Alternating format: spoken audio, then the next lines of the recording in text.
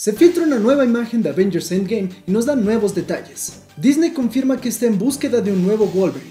¿Quién será? Además tenemos noticias sobre las películas de Marvel Studios y eso incluye hablar del futuro de Deadpool. Quédate para todas estas y más noticias en The Top Comics News. Hola amigos, me da mucho gusto verlos. Bienvenidos a un nuevo capítulo de The Top Comics News. Hoy tenemos muchas noticias sobre Marvel, así que no se despeguen y quédense hasta el final porque tenemos regalos. Para empezar tenemos una nueva filtración de una imagen de Avengers Endgame, que muchos creímos era una imagen falsa, pero resulta que no lo es, o eso parece. Y eso es porque fue una imagen mostrada por una compañía de palomitas, Orville Redenbacher's Popcorn una empresa muy importante de palomitas en Estados Unidos y Canadá, por lo cual parece que esta imagen sí es verídica. Además, varias de las cosas que vemos en esta imagen ya las habíamos especulado. Para empezar, tenemos al Capitán América con un nuevo traje, que se asemeja más al de los cómics, esto porque tiene el detalle de tener escamas. Además, desde Age of Ultron, Steve Rogers no había usado el logo de Avengers, lo cual marca el regreso del personaje a este grupo, que por cierto es exactamente el mismo que vimos en la primera película de Avengers. Luego, a su lado está Black Widow, que regresa a tener el cabello pelirrojo, y hay algo curioso en su mano.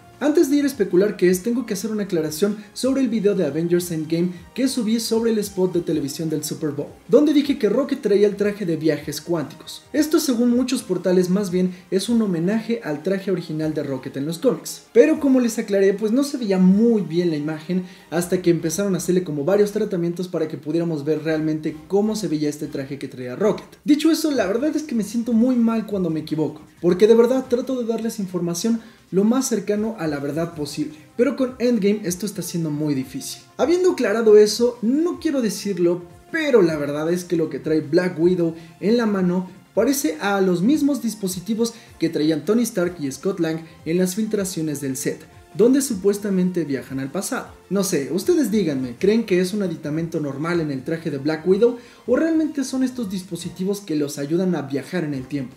Iron Man por su lado tiene una nueva armadura como es costumbre, de la cual no sabemos mucho, solo que ha cambiado en aspecto mezclando el dorado y plateado con el rojo. Thor por otro lado parece casi igual a Infinity War. Hawkeye, como ya hemos venido diciendo, tiene un cambio de look con su nuevo alter ego que está inspirado en Ronin de los cómics. Hulk de hecho es el que tiene más cambios. Como muchos han notado, el gigante verde ahora tiene una apariencia más humana y similar a Bruce Banner, y además usa un traje completo. Supuestamente en esta película veremos una fusión más armónica entre Bruce y Hulk, lo que da pie a lo que muchos llaman Profesor Hulk. En los cómics es una versión donde las personalidades de Bruce son unidas y realmente Bruce queda en control del cuerpo de Hulk. En Thor Ragnarok vimos como Hulk y Bruce se detestaban.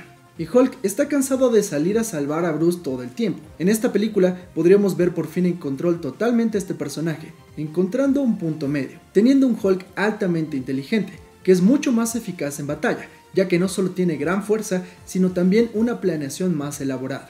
Como ya he venido diciendo hasta el cansancio, Avengers Endgame va a tener muchos secretos hasta su estreno en abril. Y como en Infinity War puede haber falsas pistas, por ejemplo, en los trailers de Infinity War vimos cómo Bruce Banner se convertía en Hulk, y eso jamás pasó en la película. En este caso no sabemos si sí va a haber viajes en el tiempo, porque también esta semana salieron una gorra y chamarra de los supuestos trajes cuánticos, pero estos no han sido confirmados. Y por ejemplo, me pregunto por qué ni Ant-Man ni Tony Stark, cuando supuestamente están en el pasado, no usan esos trajes. ¿Quiénes y por qué lo usarían?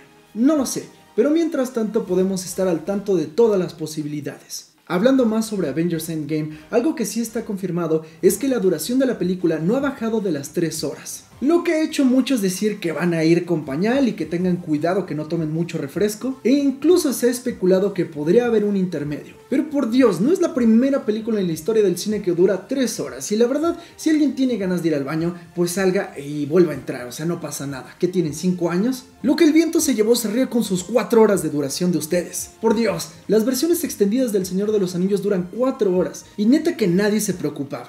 No lo sé, viejo. Luego uno trata de defender a la chaviza y salen con cada cosa que de verdad, ¿eh?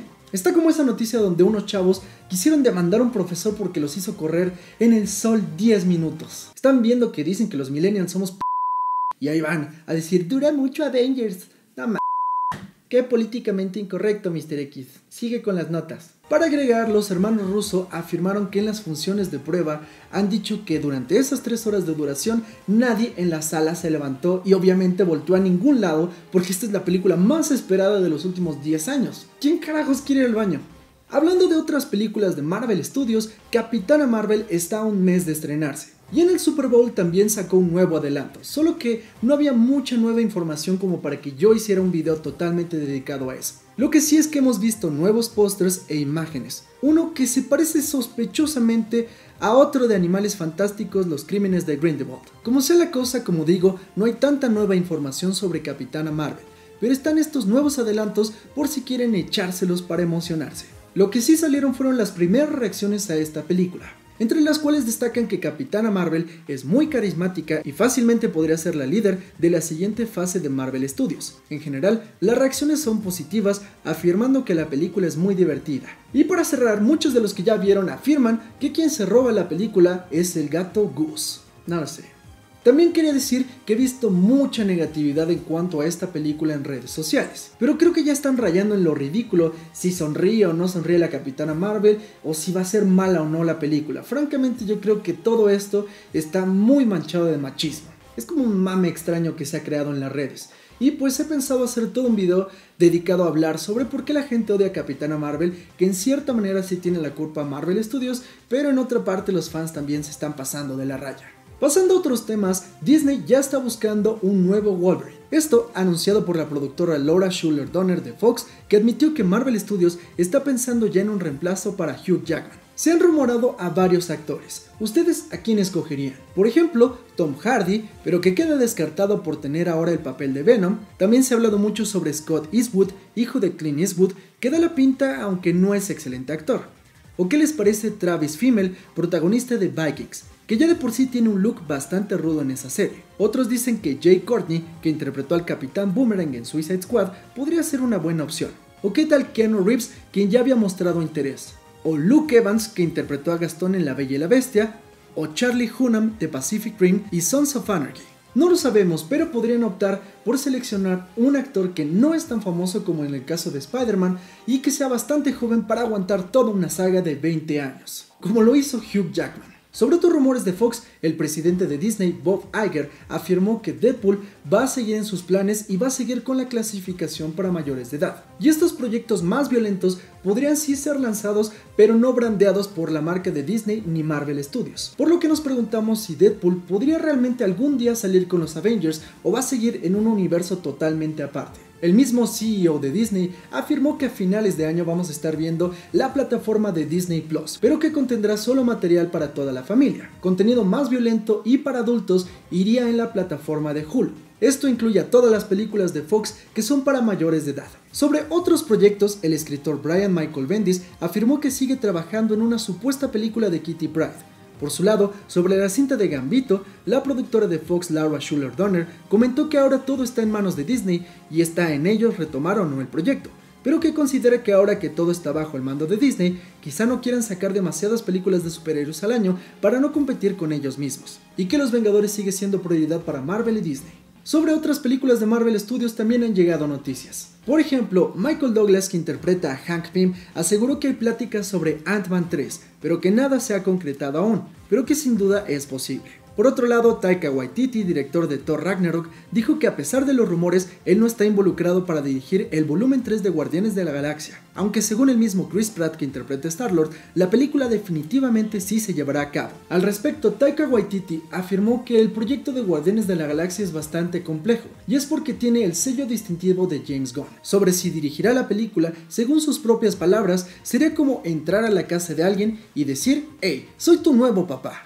Y como pueden ver hay mucho Marvel para rato, aunque este año será un año definitivo para saber qué va a pasar en el futuro de estas franquicias. Y tendremos que ir descubriendo cómo se acomoda todo poco a poco. Pero bueno, después de todo esto es momento de ir a las breves de la semana. El actor que interpreta a C-Tripio en la saga de Star Wars, Anthony Daniel, se despidió oficialmente del papel, siendo el único actor y personaje que ha salido en cada una de las películas de la saga. Además, comentó que en estas próximas semanas estaríamos teniendo un adelanto del noveno episodio de Star Wars. Los rumores apuntan a que habrá un nuevo villano y que varios personajes como los Caballeros de Ren regresarían en esta entrega. No será Man of Steel ni Justice League 2. Warner prepara un spin-off de The Trench, los villanos carnívoros de Aquaman, que será según reportes una película de bajo presupuesto y con tintes de terror. Ni Mera, ni Aquaman, ni ningún protagonista importante saldría en ella. Y todos nos preguntamos, ¿quién ch pidió esa madre? Danai Gurira, también conocida como Michonne en la serie de The Walking Dead, anuncia su retiro de esta tras el fin de la décima temporada. Por su cuenta, Laura Cohen comentó que hay pláticas para un posible spin-off de The Walking Dead con ella como protagonista. En la noticia SAT del día, se confirmó que el mapache que sirvió como inspiración para crear a Rocket en la saga de Guardianes de la Galaxia murió a los 10 años de edad. Rest in peace, Oreo. Legión tendrá tercera temporada, aunque se confirma que será la última. No se ha anunciado fecha de estreno aún. Y bien, hemos llegado al final de este video de noticias. Y como les digo, tengo regalos. Pero antes debo denunciar a los ganadores de la semana pasada del CT Glass. Los ganadores son Limones A y Superior Stever y Yoshiki Tono Soso. Muchas felicidades y muchas gracias a todas las personas que participan. Siempre yo sé que no puedo regalarles a todos algo, pero de verdad intento darles regalitos, aunque sea a algunos de ustedes. Esta semana tenemos regalos gracias a Sony Pictures porque tenemos un Blu-ray de Venom y una libretita como de periodista al estilo de Eddie Brock para algunos de ustedes. Tengo tres sets de estos y los voy a regalar a través de mi Instagram. La dinámica la van a poder ver ahí y les recuerdo que me pueden seguir a mí como de Top Comics Oficial. La liga también va a estar acá abajo en la descripción del video. Y pues ahora sí, ya se acabó esto. Gracias por ver otro capítulo más de The Top Comics News. Nos vemos en la próxima filtración de Avengers Endgame. Disney, por favor, no me demandes. Yo soy Mr. X, nos vemos en la próxima. De verdad espero que no me demanden, tío.